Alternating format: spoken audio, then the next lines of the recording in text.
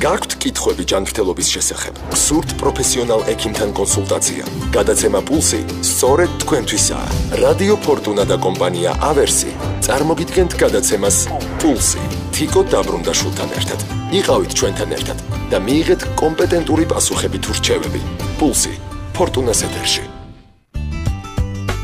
გამარჯობა. მოგესალმებით ყველას, ვისთვისაც სულ ერთი არ არის ჯანმრთელობაზე ფიქრი და გვეთანხმებით იმაში, რომ ჯანმრთელობა ყველაფერი არ არის, მაგრამ ყველაფერი ჯანმრთელობის გარეშე არაფერია. თქვენ კვლავ პულსს მეთ იმისთვის, რომ შეიტყოთ უფრო მეტი ჯანმრთელობის შესახებ. და რაც შეეხება ჩვენს დღევანდელ სასაუბრო თემას, უაღრესად საინტერესო და სადღეისოდ უაღრესად აქტუალურ თემაზე ბარიატრიულ ქირურგიაზე ვაპირებთ საუბარს მოწვეულ სტუმართან, სამედიცინო ეკოსისტემა პინეოს ბარიატრიული და მეტაბოლური ქირურგიის დეპარტამენტის ხელმძღვანელთან მერავ ჯანელიძესთან ერთად მოგესალმებით, ბატონო მერავ, დიდი მადლობა სტუდიაში მოგწანებისთვის. მოგესალმებით თქვენს ასევე მადლობა და მოგესალმებით ჩვენს მსმენელს. ბატონო, ბარიატრიული ქირურგია. მოდით დავიწყოთ ძალიან ბანალურად, თუმცა საჭირო კითხვით. რას წარმოადგენს ბარიატრიული ქირურგია? თავად ტერმინი სულ ახლო წარსულში შეიძლება მხოლოდ პროფესიონალებისთვის იყოს ცნობილი, თუმცა დღეს ის უკვე პრაქტიკულად ფართო საზოგადოებისთვისაც ძალიან კარგად გახდა ნაცნობი. გასაგები მიზეზების გამო ძალიან პოპულარულია თავად მეთოდი ჭარბი წონის დასაკლებად. მოდით დავიწყოთ, რას წარმოადგენს ბარიატრიული ქირურგია? კი ბატონო, ბარიატრიული ქირურგია ეს არის ქირურგიის დარგი, რომელიც იკულევს, ებრძვის სიმსუქნეს და მასთან გამოწვეულ დაავადებებს. საკუთრივ რახან მახსენეთ უკვე სიმსუქნე, უნდა ვთქვათ, რომ დღევანდელ მსოფლიოში სიმსუქნეს ანუ ჭარბწონიანობას აქვს ეპიდემიის ხასიათი. ჯანმოს მონაცემებით მილიარდ ნახევარი ადამიანი დაავადებულია ჭარბი წონით.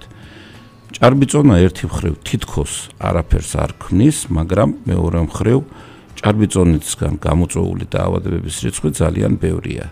როგორც ჰიპერტონული დაავადება, გულსიზართა სხვა დაავადება, ისევე საყდენ-მაუნწრებელი სისტემის დაავადება და თვით ონკოლოგიაც კი. ჭარბწონასთან ასოცირებული ამ დაავადებების კურნალობა შესაძლებელია, რა თქმა უნდა, წონის დაკლებასთან ერთად. თუმცა წონის დაკლება რახან ხშირ შემთხვევაში ვერ ხერხდება ჩვეულებრივი დიეტების ან მედიკამენტების ფონზე, ამიტომ მოწოდებულია ქირურგიული კორექცია. და აი მედიკამენტების ფონზე როდესაც ვერ ხერხდება და მოწოდებულია ეს ორი ტერმინი მინდა ეხა ჩავიჭირო თქვენი საუბრიდან და კითხოთ ანუ აქვს თუ არა და რა თქმა უნდა აქვს კაცრად განსაზღვრული ჩვენებები ბარიატრიულ ქირურგიას და რას წარმოადგენს ეს ჩვენებები და რამდენად დასაშვებია და შესაძლებელია. ზოგადად ქირურგი აყვეს პაციენტის მოთხოვნას. იმის მიუხედავად რომ ჩვენება არ არსებობს პაციენტს უნდა ვთქვათ ამ ოპერაციის გაკეთება სხვადასხვა მოტივის გამო და რამდენად დასაშვებია რომ ამ შემთხვევაში ქირურგი წავიდეს შემთხვევით ნაბიჯზე და გააკეთოს ოპერაცია ბარიატრიული ქირურგია უნდა აღნიშნოთ, რომ ეს არ არის პლასტიკური ქირურგია. პლასტიკური ქირურგიის შემთხვევაში პაციენტს აქვს იმის უფლება მოითხოვოს თუ როგორი უნდა სხეულის ესა თუ ის ნაწილი ან რაიმე შეიცვალოს და ასე შემდეგ. ბარიატრიული ქირურგია მოწოდებული არის მხოლოდ იმ შემთხვევაში, როდესაც სიმსუქნე წარმოადგენს პაციენტისათვის მისი მოქმედების თუ უნარის თუ რაღაც სხვა დაავადების ხრივ გართულების საშუალებას. ანუ ცხოვრების ხარისხს აქვეითებს და სხვა გამოსავალი ამ დროს უბრალოდ არ არსებობს. ცხოვრების ხარისხს არ არსებობს სხვა გამოსავალი და ამდენად კონკრეტულ შემთხვევაში კონკრეტული მიდგომით უნდა გადაწყდეს პაციენტის ბედი ექვემდებარება თუ არა ის ქირურგიულ ჩარევას. ანუ არ შეიძლება ვიფიქროთ რომ ადამიანს უდოდეს მოდურად, ტრენდულად ან რაღაცა სურვილების მიხედვით გაიკეთოს ბარიატრიული ოპერაცია და ამის მიხედვით გაკეთდეს. უნდა გაკეთდეს მხოლოდ ჩვენების მიხედვით და ჩვენებისთანავე მიხედვით უნდა გაკეთდეს ოპერაციის ის მეთოდი, ანუ შეირჩეს ის მეთოდი, რომელსაც საჭიროებს პაციენტი. ну, შემიძლია ვთქვა, რომ დღესდღეობით გარკვეულად მოდური გახდა, რა თქმა უნდა, იმიტომ რომ სურველთა რიცხვი ძალიან ბევრია, იმდენად ბევრია, რომ ჩვენგან გაედინება კიდეც პაციენტების საკმაოდ დიდი რაოდენობა, რამოდენიმე ათეული პაციენტი ყოველთვიურად. მეზობელ ქვეყანაში თურქეთში, სადაც შედარებით დაბალ ფასად იკეთებენ მსგავსი ტიპის ოპერაციებს. თუმცა, ნუ ამისენაც იყო გარკვეული სიუჟეტი მიძღვნილი ამ თემაზე, ესეთ პაციენტების აბსოლუტური უმეტესობა რჩება უკონტროლოდ და მიუხედავად ამ ოპერაციის შემდეგ. აი რა კიღა უკონტროლო პერიოდი პოსტოპერაციული ვახსენეთ არ შემეძლია ესეც არ კითხოთ. ანუ ერთია რომ ოპერაცია შესრულდეს ჩვენების მიხედვით. მეორეა რომ შეირჩეს ის მეთოდი, რომელიც კონკრეტულად, კონკრეტულ შემთხვევაში ინდივიდუალურად ამ პაციენტისთვის სხვადასხვა გარემოებების გათვალისწინებით არის ყველაზე უფრო მისაღები, ხომ? და მესამეა რომ ოპერაციის შემდეგ პაციენტი იყოს მოვლილი. მოდით აი სამივე საფეხური გავიაროთ. ანუ ჩვენებების მიხედვით ვინ ადგენს, ვთქვათ, ჩვენებებს, ანუ ამას აკეთებს ერთპიროვნულად მხოლოდ ქირურგი, თუ ეს ხდება რაღაც ექიმთა გუნდის მიერ, ვთქვათ, გარკვეული ჯგუფის მულტიპროფილური გუნდის მიერ, აი ამისი დადგენა, შემდეგ უკვე ოპერირება და პოსტოპერაციულად ვინ უვლის პაციენტს, ვისი პრეროგატივაა პაციენტის მოვლა. ჩვენების მიღწევა პაციენტის ოპერაბილობის შესახებ არის ქირურგის, ენდოკრინოლოგის და კიდევ სხვა დამხმარე სპეციალისტის ერთობლივი მუშაობის შედეგი. არის სიტუაციები, როდესაც პაციენტისთვის ესა თუ ის ჩარევა შეიძლება იყოს მისი არამხოლოდ სამკურნალო, არამედ შეცდომის შემთხვევაში მისთვის დამაზიანებელი, ზოგადად ზიანის მომტანი და გარკვეულ სიტუაციაში ბევრად ცუდი პროგნოზის მომტანიც კი. მithumet ეს მაღალი რისკის პაციენტებია, ხომ როგორც წესია, გართულებებია, ბევრი ჭარბიწონა არ არის, აქ მხოლოდ ერთი პრობლემა. ბევრი პრობლემა შეიძლება ამ პაციენტს კონდეს. ეს ყველაფერი ალბათ გასათვალისწინებელია ოპერაციამდე. რა თქმა უნდა, გასათვალისწინებელია პაციენტის არამხოლოდ სხეულის მასის ინდექსი, ანუ რაც გულისხმობს მის სიმსუქნის ხარისხის განსაზღვრას. მისგან გამომდინარე დაავადებები, რომელიც მაგს იმჟამად აქვს, ან ელის მის გართულებით განვითარებას. ამავდროულად გასათვალისწინებელია პაციენტის ასაკი, რომელსაც აქვს პრინციპული მნიშვნელობა.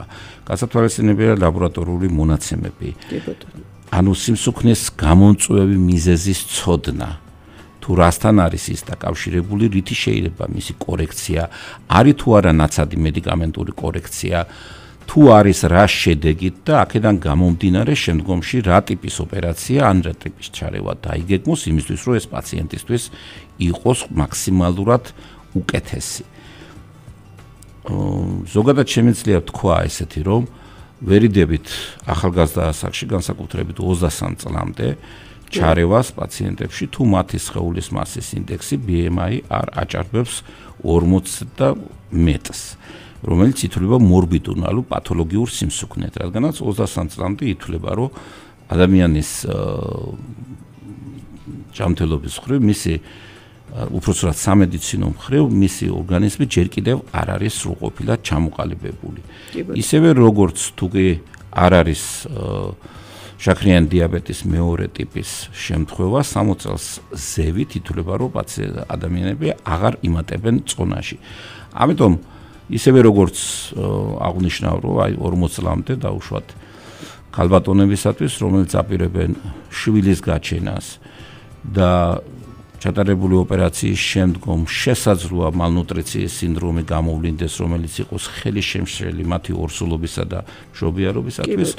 ამდენად ეს ყველაფერი უნდა იქნას გათვალისწინებული პერსონალიზირება უნდა მოხდეს, ასე ვთქვათ, პაციენტის შემთხვევაში ინდივიდუალური მიდგომით მულტიდისციპლინარული გუნდის მიერ. და ამის მერე გადაწყდეს უკვე თუ რას და რატომ საჭიროებს ეს პაციენტი. და ვიდრე აი ოპერაციის ტიპებზე შევჩერდებით, პოსტოპერაციულ მოვლასთან დაკავშირებით მინდა გკითხოთ, აი თქვენ აღნიშნეთ, რომ მეზობელ ქვეყანაში ამ საკითხს პრაქტიკულად აბსოლუტურ იგნორირებას უკეთებენ და ყველა აქედან გამომდინარე შედეგით სახეზე გვაქვს ხომ ის სტატისტიკა, რომელიც მართლაც არსებობს და ციფრები ამ დროს ძალიან ბევრს ამბობს. მოდით გითხარით, რას გულისხმობს თავის თავში პოსტოპერაციული მოვლა და ამხრივ რა ხდება საქართველოსში და კონკრეტულად თქვენთან, თქვენს დეპარტამენტში, თუმცა ვიდრე პასუხს გაგცემდეთ რეკლამა ეთერში, სულ რამდენიმე წუთში დაგიბრუნდებით და გველოდეთ. რადიო ფორტუნას სარეკლამო სამსახური. 2 38 30 30 ფორტუნა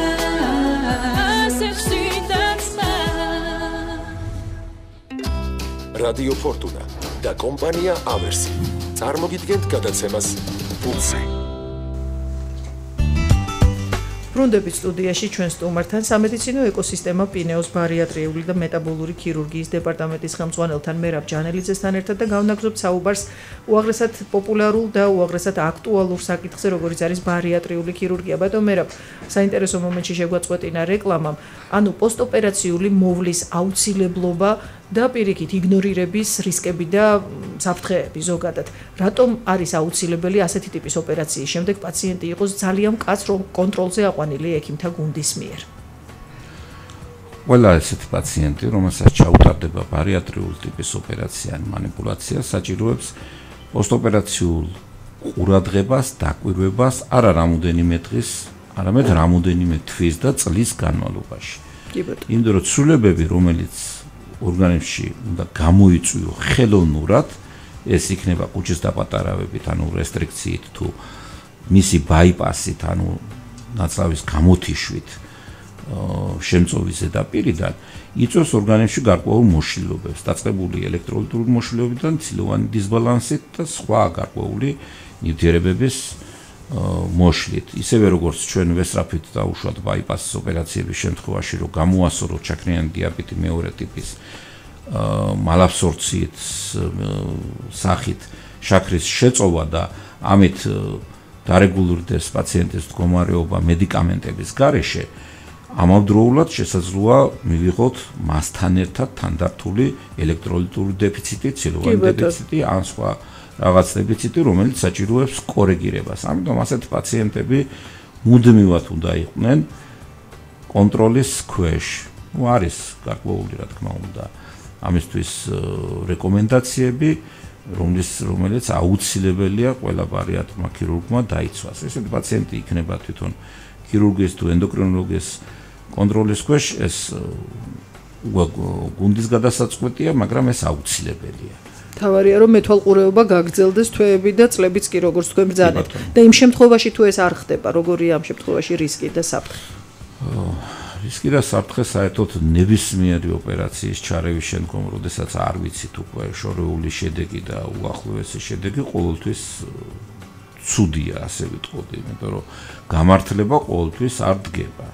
ოპერაციის შესრულება არის ერთი მომენტი, მანამდე ვილაპარაკეთ, რომ ოპერაციამდე მისვლაც არის ძირითადი მომენტი, თუ რატომ ავირჩიეთ ოპერაცია, ზუსტი დასაბუთება უნდა გქონდეს და თუ ავირჩიეთ ოპერაცია და გავაკეთეთ, უნდა გქონდეს პაციენტის უკვე სრული კონტროლის შემდგომ განვითარებული მოვლენების შესახებ.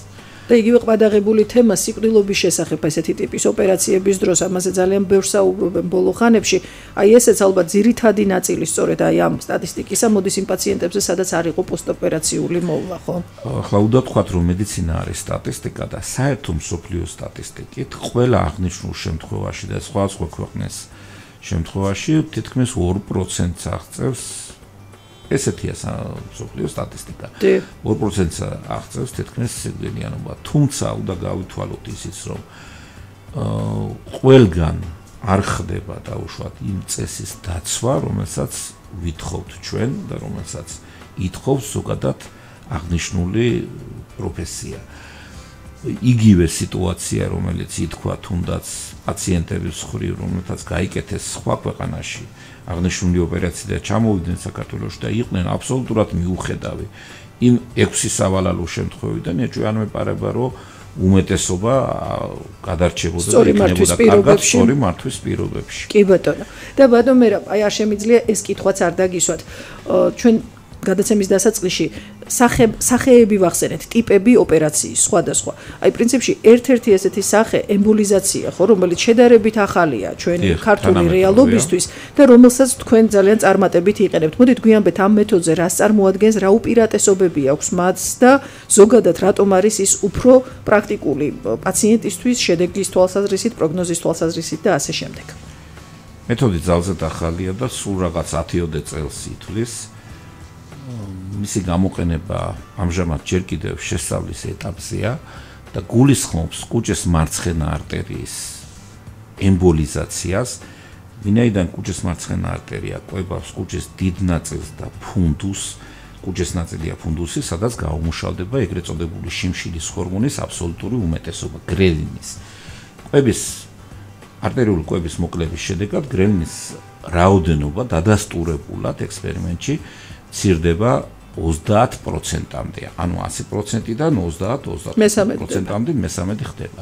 ანუ ასეთ პაციენტებს პრაქტიკულად ისეთივე ეფექტი აქვს, როგორც სლივ გასტრექტომიის დროს. და ამ დროს ინვაზია არის გაცილებით ნაკლები. ხო, შიმშილის შეძება ნაკლებია, ინვაზია ბევრად ნაკლებია, გართულებები დღესდღეობით რამოდენიმე 1000 ასეთი ჩარევის შედეგად არ არის ცნობილი ვინმეს გარდაცვალების შესახებ. არის ერთადერთი აღწერილი გართულება პერფორაცია, რომელიც საავადმყოფოს პირობებში წარმატებით დასრულდა. და უბრალოდ მე წერანაც ვახსენე რომ ყველა მეთოდს აქვს თავისი არჩევანი არ შეიძლება ვიფიქროთ რომ ემბოლიზაცია არის ყველას არჩევანი ვისაც იმსუქნეჭერს პირველ რიგში ემბოლიზაცია არის მათი არჩევანი ვისაც არ მიცა ეფექტი სლივ გასტრექტომიამ ან ბაიპასის ოპერაციამ ემბოლიზაცია არის მათი არჩევანი ვისთვისაც ოპერაციული ჩარევა ამ სახით შეუძლებელია, ბევრი მიზეზი არსებობს ასეთიც და ეს არის არჩევანი სათანადო სამედიცინო მონაცემების შემთხვევაში პაციენტებისათვის, რომელთა BMI არ აღემატება 35-ს. ანუ ახალი მეთოდია, განვითარებადი, ბევრად ნაკლებ ინვაზიური, ძალიან ასე ვთქვათ, კარგი შედეგების მომცემი, მაგრამ ეს არ არის პანაცია, რომ ყველა პაციენტს მხოლოდ ამ მეთოდით ურჩიოთ. ეს უნდა ადგილზე ქირურგის, ენდოკრინოლოგის და სხვა მულტიდისციპლინარული გუნდის ექიმების მიერ უნდა გადაწყდეს თუ რა ტიპის ჩარევა შეიძლება მოცემული პაციენტისას და მხოლოდ ამის შემდგომ გაკეთდეს ოპერაციული ჩარევა თუ მისი გარკვეული ნაირსახეობით თუ არტერიული ემბოლიზაცია, ანუ ბარიატრიული ემბოლიზაცია. კი ბატონო და დასასრულს უახლოვდება ჩვენი საუბარი და მინდა კითხოთ როგორც ქირურგს ქირურგისგან ერთი ასად საინტერესოა ალბათ ამ კითხვაზე პასუხის მოსმენა. აა თქვენთან მოდიან პაციენტები რომლებიც უკვე მზადარიან და საჭიროებენ ქირურგიულ ჩარევას, ხომ? მაგრამ მანამდე სანამ ურემი გადაბრუნდება, რა მნიშვნელობა აქვს ცხოვრების ჩანსაღი წესის დაცვას ზოგადად? ანუ ასეთ ბანალურს, ასეთ ტრაფარეტულს და მაინც ესეთ მნიშვნელობას იმისთვის რომ თქვენამდე არ მოვიდნენ პაციენტები, ასე ვთქვათ, ხომ? ეს არის რეალურად ყველა კარგი ქირურგის სურვილი, მე მუხაძის გამონათქვამი მახსენდება, რომ კარგი ქირურგი მაშინ კი არ ხარ, რომ ბევრ ოპერაციას გააკეთებ, მაშინ რომ ბევრ ოპერაციას აარიდებ თავიდან პაციენტსო. და აი ამ კონტექსტში მინდა თქვენგან ამაზე პასუხის მოსმენა, ბატონ მერაბ. კი ბატონო. იყო ესეთი ძველი გამონათქვამი ნამდვილად, როგორც ჩვენთან ასევე საზოგადოებათაც და კარგია ქირურგი, რომელმაც იცის როგორ გააკეთოს ოპერაცია, უკეთესია ქირურგი, რომელმაც იცის როდის გააკეთოს ოპერაცია და საუკეთესოა ქირურგი, რომელმაც იცის როგორ არ გააკეთოს ოპერაცია. ანუ ოპერაციული ჩარევა ყოველთვის როგორაც მარტივად არ უნდა წარმოვიდგინოთ, არის ტრავმა, ეს ოპერაციული ტრავმა სამედიცინო ტერმინია და მისგან გამომდინარე შეიძლება იყოს რა თქმა უნდა გარკვეული გართულებაც. ამიტომ ტრამის წინაშე ტრამის მიყენება პაციენტისთვის, მისი ორგანიზმისთვის თუ ის აუცილებლობას არ წარმოადგენს, თავისთავად მიზანშეწონილიც არ არის.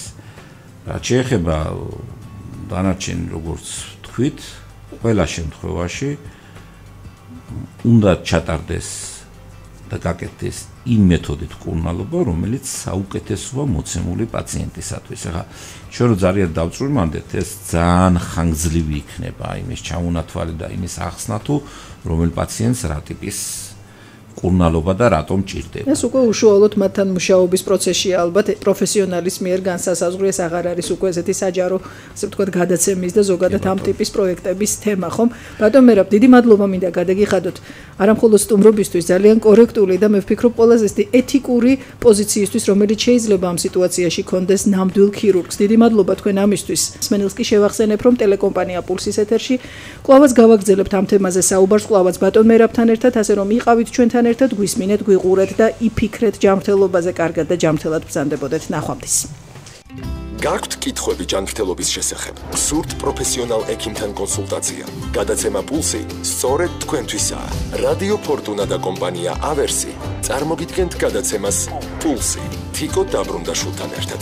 იყავით ჩვენთან ერთად და მიიღეთ კომპეტენტური პასუხები თუ რჩევები. პულსი.